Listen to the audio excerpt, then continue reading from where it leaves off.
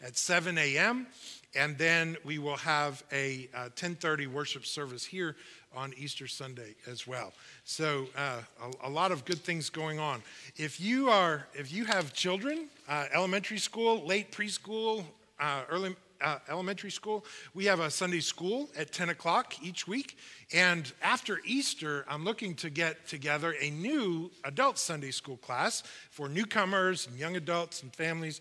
Uh, and we will start to um, uh, gather and fellowship together. That too will go at 10 o'clock in the morning. Uh, let's see. You see the important chicken uh, uh, chicken pie project fundraiser. Uh, those chicken pies are delicious, and that uh, sheet is self-explanatory. I think. Um, I think that those are all of the announcements I have today. Um, okay, Lucy Birch, who's our intern. If you're on Facebook, she's got some new hardware on her finger. She got engaged, so we're happy about that, and she's still off on vacation. But listen, she's not here today because she's still on that trip. So next week when she shows up, act surprised, okay? really make her feel special. But we're, we're really happy for her uh, and pray God's blessing on their travels and their relationship. Uh, her fiance Garrett look, uh, and she look very happy. Uh, so, um, those are all the announcements that I had. We continue our worship this morning.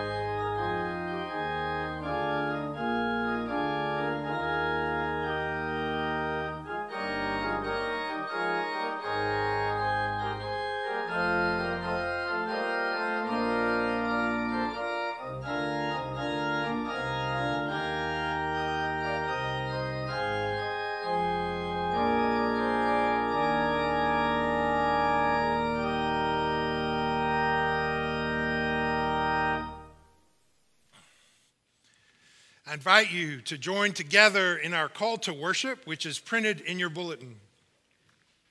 God summons us to wake up and see light has come to lead us to all that is good.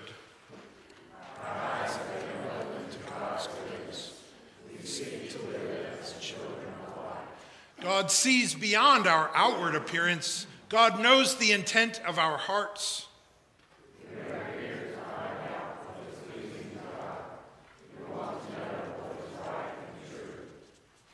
God listens to all who worship sincerely. Praise God with openness and obedience.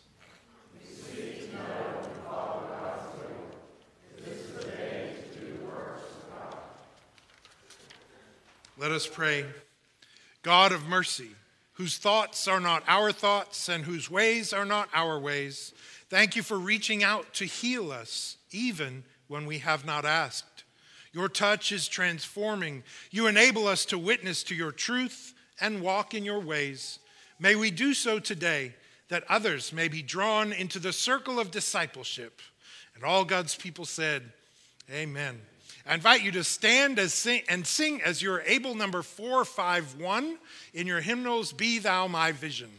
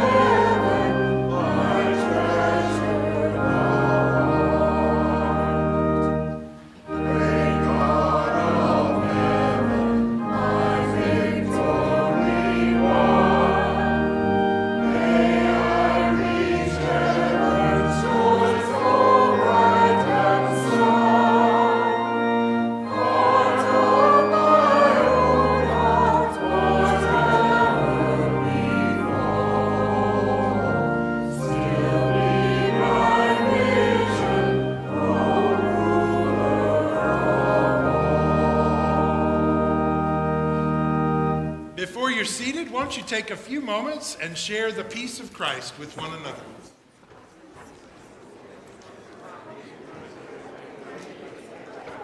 Peace be with you, too. Peace be with you, Leslie. Peace be with you, Jenny. Thank you. Yes, can we do, I didn't print it, but just the one verse. You guys can come up and bring a hymnal with you.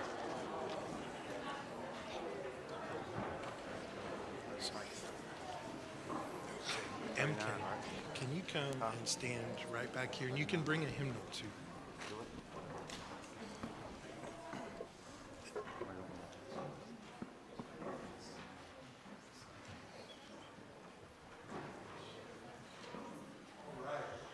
Who's here? How about that? Hi. Piper Elizabeth, it's good to see you. We're so glad today to have the opportunity to welcome into the church Piper Elizabeth and uh, Nikki and Jeannie. It's great to see you. We're so happy. What a happy day. Keep smiling just like that, Piper. Everything will be great. and uh, so I would invite you to join with me. This is not just something for Piper and for the. Fa- I know, hey, what's up? She's shooting the piece out. It's for us as a congregation. Those in front pews, you have. Uh, uh, uh, hymnals underneath your bench, but I'd invite you to turn in your hymnals to page 39 and um, we'll begin. Brothers and sisters in Christ, through the sacrament of baptism, we're initiated into Christ's holy church. We're incorporated into God's mighty acts of salvation and given new birth through water and the Spirit. All this is God's gift offered to us without price. What is the name of this child that was presented for baptism today? Piper Elizabeth Webster. Piper Elizabeth Webster. Amen. I have a few questions for you as parents, and then I have some questions for all of us as well, because we're entering into this covenant together. So, on behalf of the whole church, Jeannie and Nikki, I ask you do you renounce the spiritual forces of wickedness, reject the evil powers of this world, and repent of your sin? If so, say, I do. I do. And do you accept the freedom and power God gives you to resist evil, injustice, and oppression in whatever forms they present themselves? If so, say, I do. I do. Do you confess Jesus Christ as your Savior? Put your whole trust in His grace and promise to serve Him as your Lord in union with the church, which Christ has opened to people of all ages, nations, and races? If so, say, I do. I do. And will you nurture this child in Christ's holy church, that by your teaching and example, she may be guided to accept God's grace for herself, to profess her faith openly, and to lead a Christian life? If so, say, I will. I will. Now, to you as the whole congregation, to you as Christ's body, the church, reaffirm both your rejection of sin and your commitment to Christ. If so, say, We do. Will you nurture one another in the Christian faith and life and include this child now before you in your care? With God's help, we will proclaim the good news and live according to the example of Christ. We will surround this person with a community of love and forgiveness that she may grow in her service to others. We will pray for her that she may be a true disciple who walks in the way that leads to life. You're so smart, you were reading right along with us. Let us join together in professing the Christian faith as contained in the scriptures and the Old and New Testaments. Do you believe in God the Father? I believe in God the Father Almighty, creator of heaven and earth. Do you believe in Jesus Christ? I believe in Jesus Christ, his only Son, our Lord, who was conceived by the Holy Spirit, born of the Virgin Mary, suffered under Pontius Pilate, was crucified, died, and was buried. He descended to the dead. On the third day, he rose again. He ascended into heaven, is seated at the right hand of the Father, and will come again to judge the living and the dead. And do you believe in the Holy Spirit?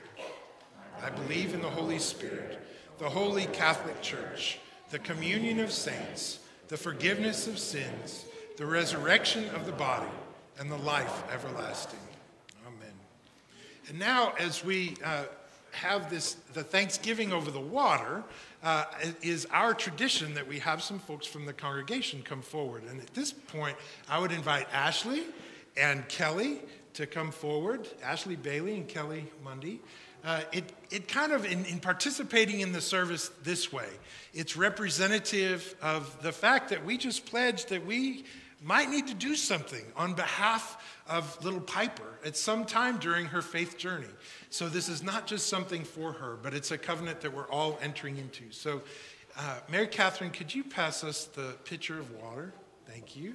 And as I pray this prayer of thanksgiving over the water, Kelly, you and Ashley can come, and your sisters, but try and be peaceful to figure this out together uh, to pour the water. And I want to say, uh, Claudia and Lacey brought back some water from the Jordan River when they made their very special trip to the Holy Land.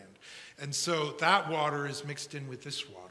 So, literally, this baptism is connected to the waters where Jesus was baptized so long ago. So, as I pray this prayer, just kind of pour it slowly and with great drama uh, into the font. Let us pray. Eternal Father, when nothing existed but chaos, you swept across the dark waters and brought forth light. In the days of Noah, you saved those on the ark through water. After the flood, you set in the clouds a rainbow. When you saw your people as slaves in Egypt, you led them to freedom through the sea, and their children you brought through the Jordan to the land which you promised. Sing to the Lord, all the earth, tell of God's mercy each day. And in the fullness of time, you sent Jesus, nurtured in the water of a womb. He was baptized by John and anointed by your Spirit he called his disciples to share in the baptism of his death and resurrection and to make disciples of all nations. Declare his works to the nations, his glory among all the people. And so, O God, pour out your Holy Spirit on this water to bless this gift of water and this child who will receive it. Wash away her sin, clothe her in righteousness throughout her life, that dying and being raised with Christ, she may share in his final victory. All praise to you, eternal Father, through your Son, Jesus Christ, with you and the Holy Spirit, lives and reigns forever. Amen. Help me keep it open to that page, okay? And could you hand me that towel? Thank you, okay. Well, this is the fun part. hey, sweetheart. Hi. Hi. Yeah, there's mommy. Piper Elizabeth. Piper Elizabeth. I baptize you in the name of the Father and of the Son and of the Holy Spirit. And what we have done here washes away your sin, marks you with the cross of Christ, and seals you with the Holy Spirit this day and forevermore. Amen. Amen. May God bless you. You want to wave again to everybody? Hi. Now, I'm going to kind of blot you off here, but in the waters of baptism, you kind of stay wet your whole life. All those folks out there, they are staying wet too, basically. So we're glad for that. And now, what I'd like to do, I've already checked this with mom and dad. I want, oh, it's okay. Look, this mom. It's all right. Yeah. Mom, you want to come with me and walk her around? You're welcome to. But what I'd like to do is uh, let you get to know Piper a little bit as we sing uh, Jesus Loves You. And we'll do that now. And I'm going to have somebody in the congregation uh, to kind of, I'm going to hand Piper off and carry her back up here as a symbol again of how we're all involved, that we might get called upon at some point in time to, uh, to love and care for little Piper. So let's sing together.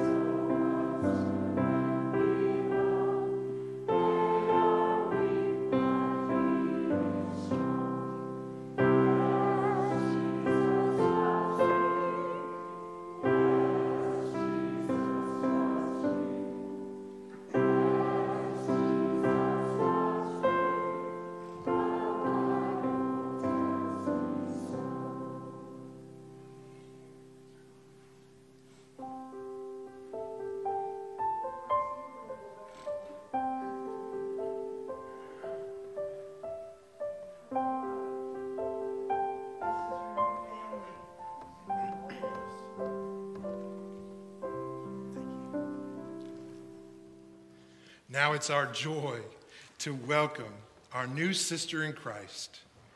Through baptism, you are incorporated by the Holy Spirit into God's new creation and made to share in Christ's royal priesthood.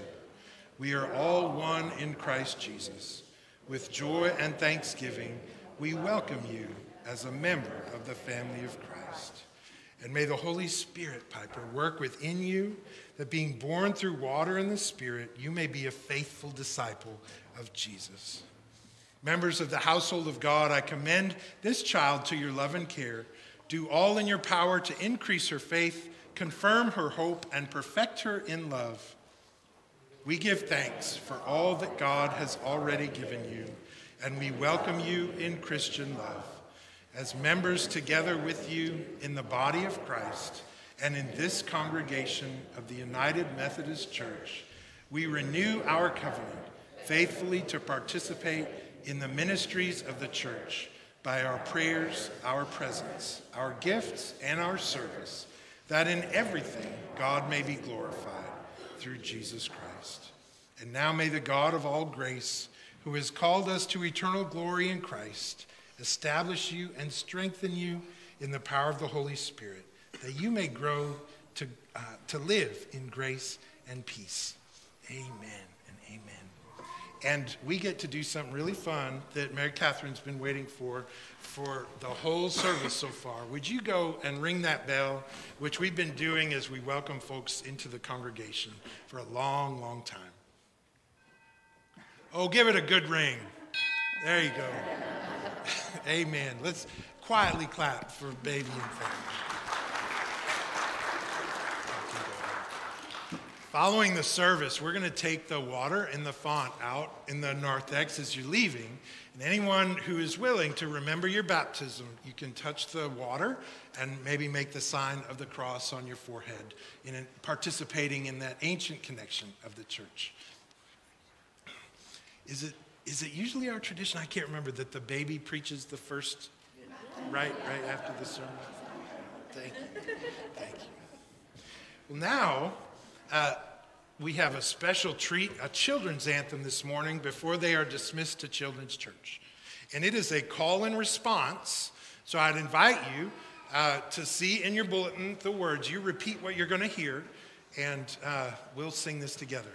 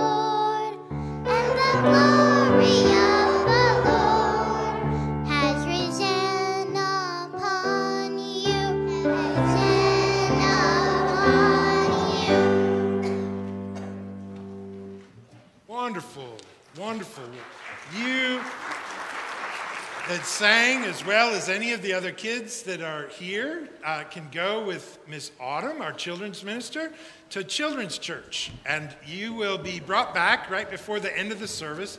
So, uh, parents, you'll be able to reconnect then. And as they're making their way out, our next uh, item in the worship service is the prayer for illumination, where we prepare our hearts to hear the words of the gospel.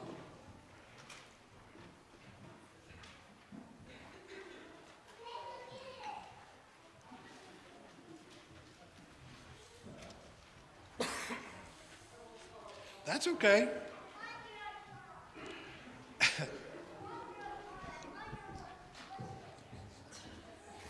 That's so fun. It's worth waiting for and watching. It really is. If you don't think so, go to a church that hasn't had kids in a long time. You know, it is really a beautiful thing. Well, let us pray this prayer for illumination. Lord, open our hearts and minds by the power of your Holy Spirit, that as the scriptures are read and your word proclaimed, we may hear with joy what you say to us today. Amen. Our reading today from scripture comes from the ninth chapter of the Gospel of John, beginning with verse 24. I, before I read the scripture, I just want to, it's a very long, the, the ninth chapter is a really long story. And so I kind of I'm only reading the second half. But in the first half of the story, just to set it up, Jesus comes upon a man who is uh, uh, blind and has been blind from birth, and Jesus heals him. And he's, of course, really excited about that. But not everyone is excited about that.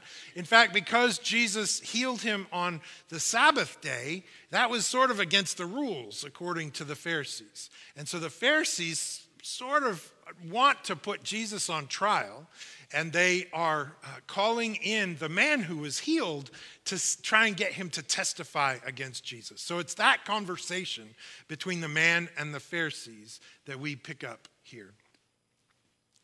A second time, they summoned the man who had been blind. Give glory to God by telling the truth, they said. We know this man who healed you is a sinner. Man replied, Whether he is a sinner or not, I don't know. One thing I know I was blind, but now I see. And then they asked him, Well, what did he do to you? How did he open your eyes? The man answered, I told you already and you didn't listen. Why do you want to hear it again? Do you want to become his disciples too? That really made them mad. That was my own commentary. They hurled insults at him and said, You are this fellow's disciple. We are disciples of Moses. We know that God spoke to Moses, but as for this fellow, we don't even know where he comes from. Well, the man answered, Now that's remarkable. You don't know where he comes from, yet he opened my eyes.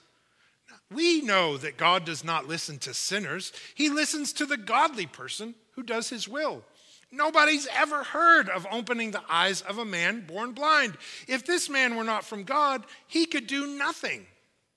To this they replied, You were steeped in sin at birth. How dare you lecture us? And they threw him out. Well, Jesus heard that they had thrown him out. And when he found him, Jesus said, Do you believe in the Son of Man? Who is he, sir? Tell me so that I may believe in him.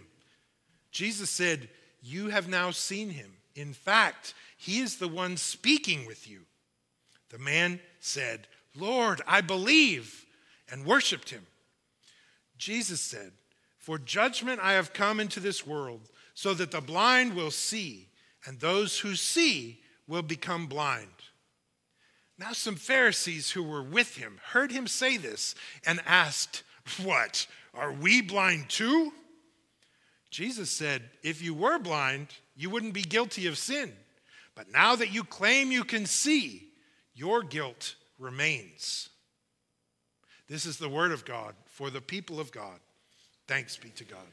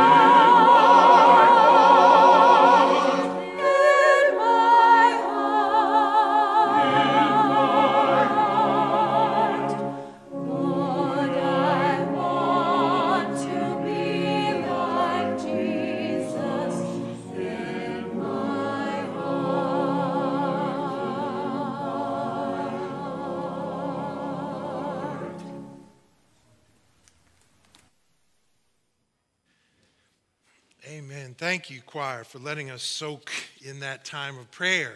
The prayer that you sang became, I think, our prayer uh, together.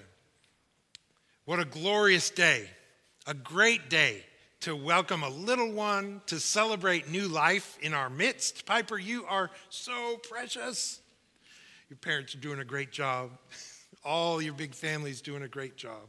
You are blessed, Piper, with a wonderful family, with a wonderful church family, with wonderful friends who have promised now to live their lives after the example of Christ, to be there for you and your family, come what may. That's a beautiful day. It's a good thing you came along when you did. Three years ago this week, we hung a sign on the door. This is a copy of the very sign that we hung on the door three years ago this week. Greetings, friends. Our services for worship together have been postponed. We will not have church March, or we will not worship Sunday, March 15th or Sunday, March 22nd. COVID was upon us. The church is not a building or an event. The church is the people of God who love one another and follow Jesus together.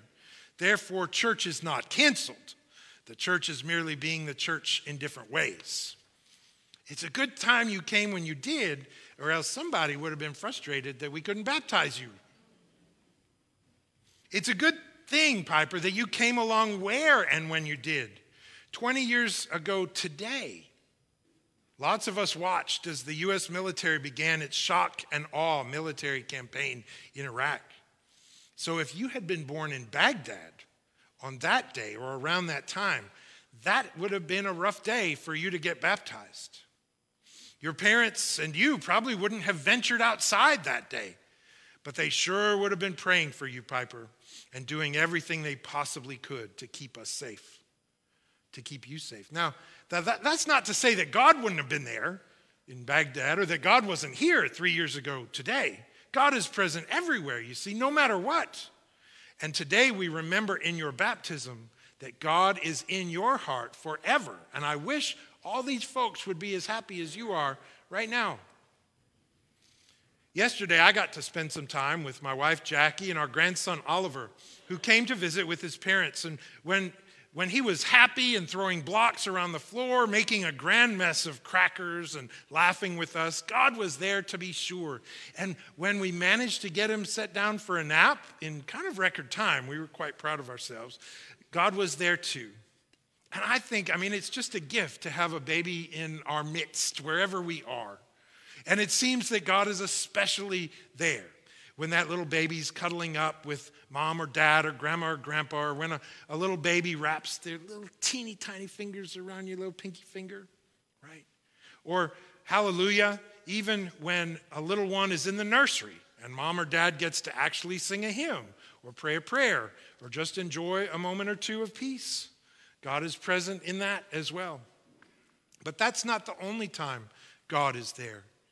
I would imagine a lot of people 20 years ago were praying that night in Baghdad with bombs dropping nearby. And God is there in Ukraine right now, and Sudan, and Rwanda, and Myanmar, all the places around the world where people are living in fear. I believe God is there in those homes.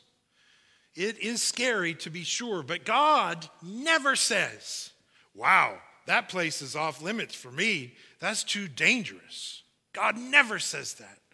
There are a lot of stories in the Bible where God was with people during their times of danger.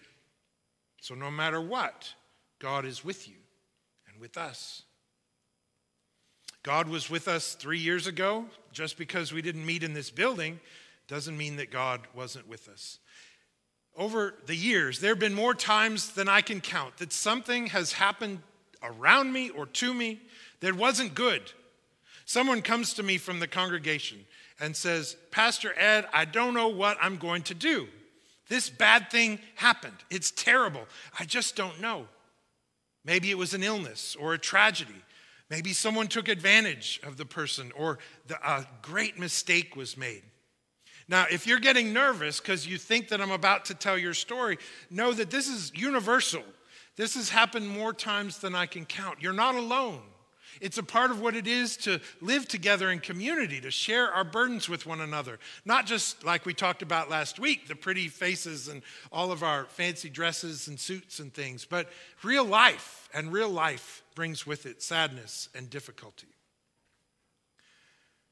Walking with folks through times like that is hard, but it's a part of what it is to be the body of Christ. I've been in those spots, and I've told my pastor the same thing. A long time ago, when I was a senior in high school, I was invited to a university, Michigan Tech University. If you know your geography, you know that that is way up north. Even in Michigan standards, it's way up north. Like we, from I'm from Michigan. From Michigan, we always say this is where we live, right? And we point to our hand. It looks like a mitten. Where you can also put a second hand up there. That's the Upper Peninsula, and you can't go anymore. Michigan Tech is way up in the tip of the top thumb. And it's way up there. A lot of Canada is farther south than that point in Michigan. So I was up there for a scholarship uh, competition in the winter. There was three feet of snow on the ground, and the campus was rather deserted. And the scholarship event was kind of a train wreck, actually. It wasn't very well planned. Most of the students were home on winter break. I had to walk into town on Sunday morning to get breakfast wherever I could find it. And I went to church also that Sunday and I walked through deep snow because the cafeteria wasn't open and I didn't have anybody sort of staying with. It was it was a mess. And then it came time to get back to the airport and catch my flight back home to Balmy, Detroit. I tried calling a taxi, but I must not have, there were no arrangements made for me to get back to the airport. I tried calling a taxi. I must have told them to pick me up at the wrong place because the taxi never came and the time was ticking and I was going to get stranded. So I ended up flagging down a random student, the only one around. He was in a Jeep and I paid him 20 bucks. And to a high school senior back in 19 whatever, that was a lot of money and he took me to the airport. I barely made my flight, but I did make it, which was pretty miserable. Needless to say, I didn't get offered the scholarship. And even if I would have gotten offered the scholarship, after that weekend, I don't think I would have gone. But here's the thing God knew where I was, God was with me. I don't believe there was any point where God was up there in heaven elbowing the angel next to him saying, Oh, geez, Ed's alone. What's he going to do? Nothing we can do to help, is there? Chalk that one up to bad luck. Good luck to him. I don't think God says that. It's not like that. I wouldn't be surprised if God sent the guy in the Jeep. I wouldn't have been surprised either if I would have missed my flight. But even then, I would have sat there, probably crying in that little airport, temporarily stranded, and I'm sure God would have sent another kind soul to help me get home by sled dog, maybe. God's just like that. And how do I know that God's like that? Well, because the Bible tells me so. In today's story in John chapter 9, Jesus just healed a man born blind. I left out the gross part, kids, when Jesus spit in the dirt and made some mud and put that muddy spit mud on the guy's eyes and then told him to go wash it off in a, in a pool. And I also left off that Jesus healed him on the Sabbath. I can only imagine how happy the man was to be able to see and how happy his friends were for him. And you'd think that everybody was happy, but as we heard, they weren't. The Pharisees heard about it and were upset because the way they saw it, in healing the man on the Sabbath, Jesus had broken God's law. And they were also suspicious because Jesus didn't come from around there. And so they were suspicious that maybe he was like a witch doctor or practicing voodoo or something, something not holy or good. So instead of being excited for the man and, and for him, this man who can now see for the first time in his life, instead of him walking around and seeing the brilliant yellow forsythia bush, or instead of him seeing the magnificent red of a cardinal for the first time, or instead of seeing for the first time the contrast of a white puffy cloud against a deep blue sky. They haul the man into court and ask him to testify as a witness. They can't believe that a sinful man was healed on the Sabbath by someone who must be a sinner. So they investigate this law breaking moment and they want to punish Jesus. Now, this man is really just a guy who hadn't had much going for him his whole life and happened upon Jesus. And now this guy received this life changing, sight giving gift. He doesn't really know Jesus. He doesn't yet have a dog in the fight with this whole argument with the Pharisees. He doesn't know what the problem is with the Pharisees. All he knows is, like the song we love to sing, I was blind, but now I see. That's all he knew. That's what he said. He even says, Hey, you guys are so interested in him, maybe you want to follow him too. I'm sure he'd be good with that. But that really gets the goat of the Pharisees, so to speak. So they throw him out. They can't really see that his life has been changed for the better. They're just so wrapped up in their own rule enforcement. And these Pharisees have the power to make the life of the man who came to see, who can now see, and his parents, they have the power to make their lives pretty miserable for them. And then in this passage, there's the verses that I used to title my sermon. It says there, right in John's gospel, Jesus heard that they had thrown the man out. And when he found him, Jesus heard what had happened, and Jesus goes looking for the man that had been thrown out. That's how it works sometimes. Doesn't always work that way. When I needed a ride to the airport, I was looking everywhere to try and get me a ride to the airport that day. I was looking. A few years later, as a young man, I embarked on that existential quest that they say I tried to find myself. I was looking to find myself. In the Bible, in another place, it says, Ask, seek, and knock. Ask, and it shall be given to you. Seek, and you shall find. Knock, and the door will be open to you. It often happens that way in the Bible, but not always. It often is that we try to do the seeking, but sometimes it happens just the opposite. Like when one of God's beloved sheep wanders off from the 99 and gets lost and stuck, and the shepherd goes looking until he finds you. Or you get thrown out on your ear, not sure how much trouble you're in, and Jesus comes and finds you. Like the favorite song says, Amazing Grace, I once was lost, but now I'm found. I was blind, but now I see. Sometimes we're just plain old lost, and Jesus comes and finds us. And when we get found, when Jesus shows up, whether you're in the gutter, in the garage, in grad school, under guard, in a jail, or Greensboro, or at grandma's house, wherever we might be lost, when Jesus finds us, something good will happen. We are able to see we're healed sometimes. We're given a second chance sometimes. But sometimes just God just brings us to our senses. That's all that happens. We're able to see clearly. God says, "Look, you're lost." We say, "Yep. That's all I know." God says, "What do you want?" We say, "Well, I'd like to not be lost anymore." God says, "I am the way. You can follow me." And that's where the choice comes in. God will give you a choice. Saying yes to follow God will change everything, even if it doesn't change your immediate circumstance. And that's important to know too.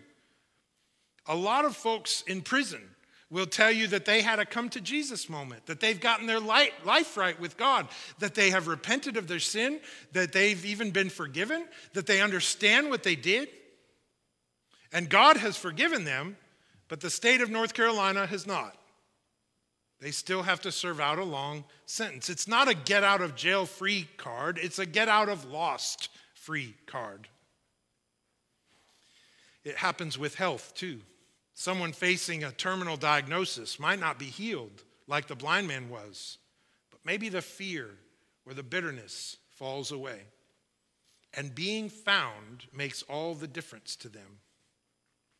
So perhaps this being found is an opening of the eyes of our heart, being found by the one who created us, who loves us. It's the eyes of our hearts that are opened. And that will absolutely make all the difference for us. But not everyone is going to see it that way. There's some bad news sometimes. I've known a lot of people over the years, their lives filled with harm as they've been entangled in relationships that are soaked in addictions and those folks, they begin to see clearly They're able to start overcoming their addictions, but they've been moving in addicted circles for a long time. And the toxics, toxic substance centered people around them only try to drag them back in. Those other folks, those toxic folks, their eyes are still closed. They're blind to the transformation and the goodness available.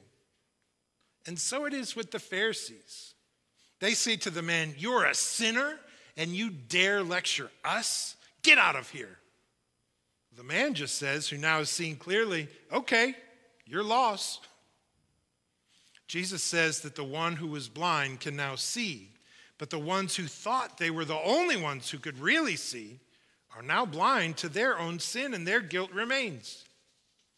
So, starting to wrap this up here, our scripture shows us that sometimes when we need some love, when we're lost, when we can't see the way forward, sometimes Jesus comes and finds us. When we couldn't worship in the sanctuary three years ago, God was still with us in our church because the church isn't this building, it's the people who carry Jesus in their hearts. God found us, each and every one. When the bombs are bursting in air in places in the world and God's people are huddled in fear, God can find us, each and every one, and sometimes bring protection and remind us of eternal life. So I hope that we will all come to see that the God of the Bible is a God who comes to find us when we're lost. God might send you a guy with a Jeep, or a saint who writes cards, or a friend with a phone, or even a still small voice or a song in your heart. I can't tell you how many times Thursday, Friday comes around and I'm facing something hard going on in life. And all of a sudden, one of the songs that we sang here in church comes to my heart, and I find myself kind of caught up in the prayer. I think that's God looking for me, right? There's nowhere you can go that's too far, too scary, too complicated, too difficult, too lost for God to find you and save you. Piper, you can't understand what I'm saying right now. I'm not as interested as your Passy, but I want you to hear there is no place you can go in this life that's too far, where you'll be too lost, where it's too dangerous for God to be right there with you all of your days, no matter what. And one last point Jesus is searching to find the lost. Jesus went looking for the man and found him. We folks in the church, we sing the song, I once was lost, but now I'm found. We claim to follow Jesus. So if we're followers of Jesus, and if Jesus is busy searching out the people who are lost, if Jesus is busy seeking out those who are sick and in need of a physician, if Jesus leaves the 99 to search for the one that's wandered away, if the man got thrown out and Jesus hears about it and goes to find, and Jesus goes to find that man, if that's what Jesus is up to and we're followers of Jesus, then I think we must be accompanying Jesus in the search party. I want to follow Jesus, we sing. And we just said we will so order our lives after the example of Jesus. We pledged it. And here in today's scripture, Jesus tells us what he's up to, who it is that we're following. He is actively looking for those in need of healing, of grace, of eye opening love, of saving, of belonging.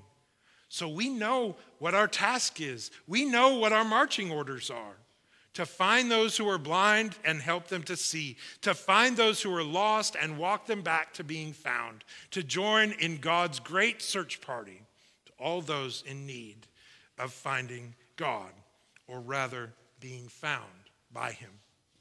In the name of the Father, and the Son, and the Holy Spirit.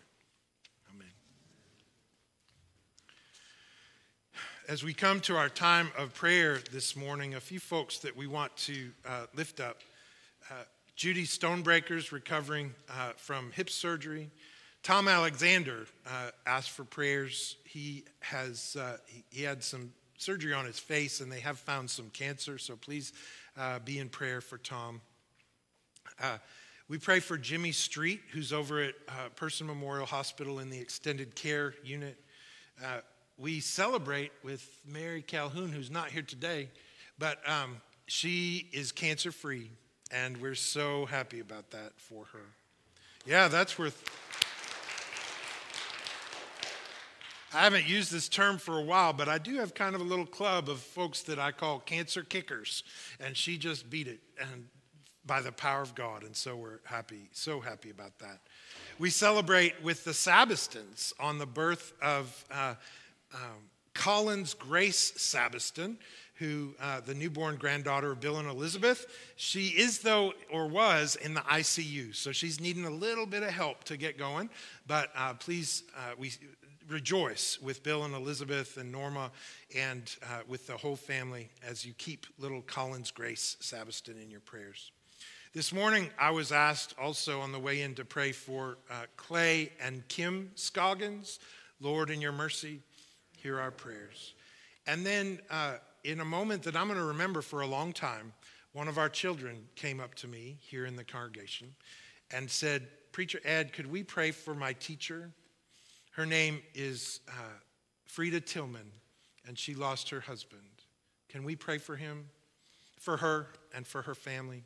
Well, yes, we can. Lord, in your mercy, hear our prayers. Are there any others that we would lift up here today? Bob Morgan, Lord, in your mercy, hear our prayers. Anyone else?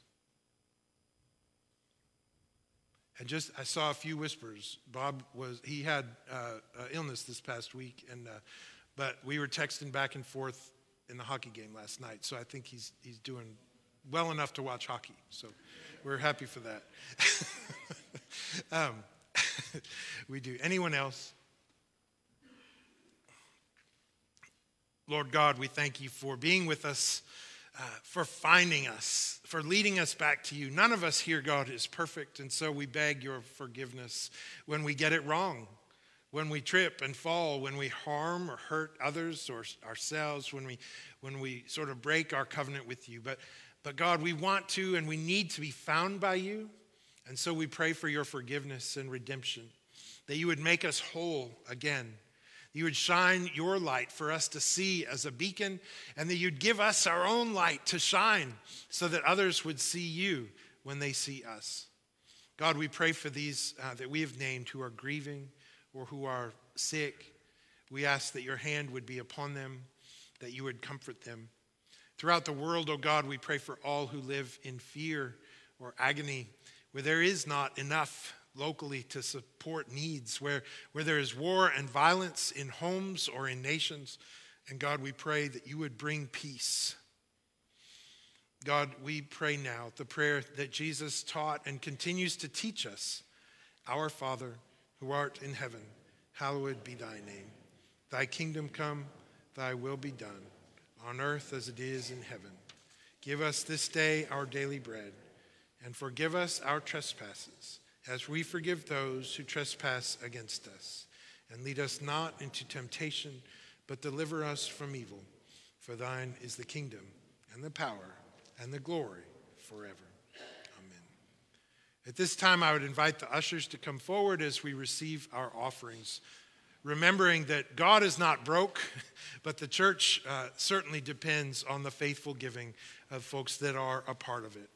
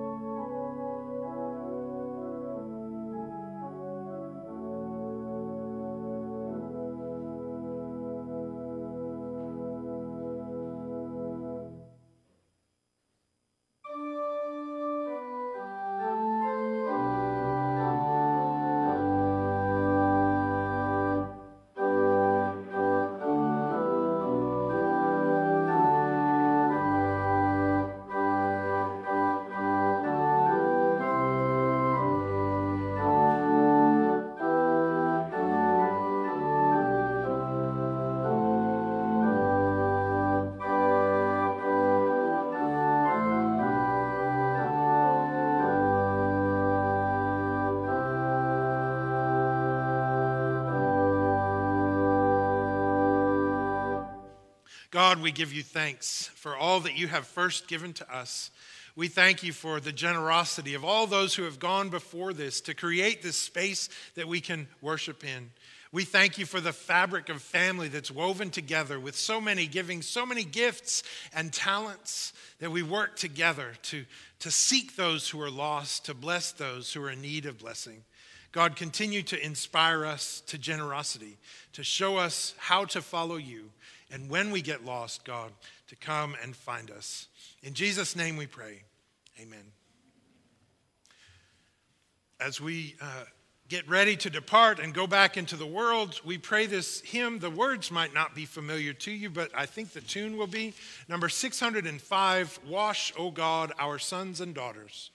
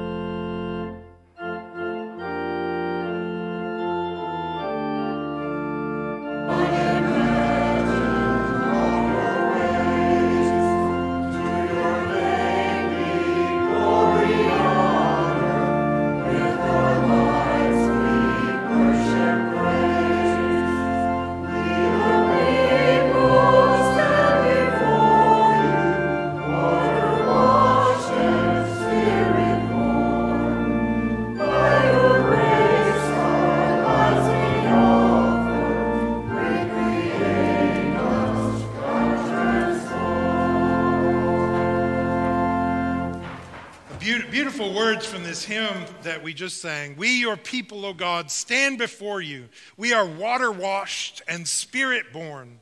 So by your grace, our lives we offer. Recreate us, God, transform. Go in peace. Remember your baptism. If you wish, this uh, will be out and know that this is part of the water that came from the Jordan River, which is quite remarkable. Go in peace.